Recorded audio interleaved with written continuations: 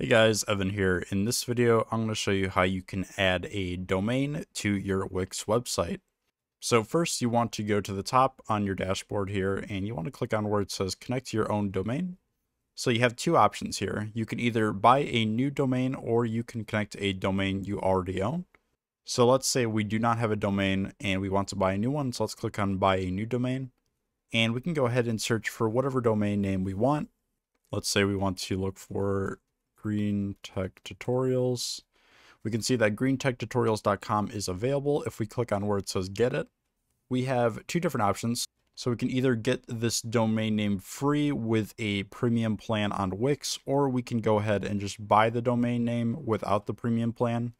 If we click if we click on buy greentechtutorials.com now, we have an option to determine how long we want this domain. So we can either buy it for two years, one year, or three years. Of course, the higher plan we choose, the more money we save. Let's just buy it for two years and click on continue. And then all you have to do is just fill out some billing information and then you can click on continue and go to the checkout process. Now, if you already own a domain, you can go to connect a domain you already own.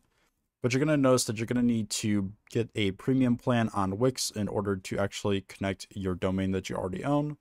So either way, when it comes to Wix, you're going to have to buy a domain or you're going to have to get a premium plan through Wix in order to connect that domain to your website.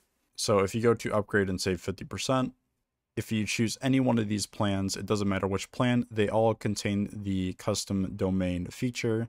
So if you get any one of these premium plans, you're going to be able to connect your domain name to your Wix website. But anyway, I hope this video helped you guys out. If it did, please leave a like. But that's going to do it for this video. Thanks so much for watching, and I hope this helped you out.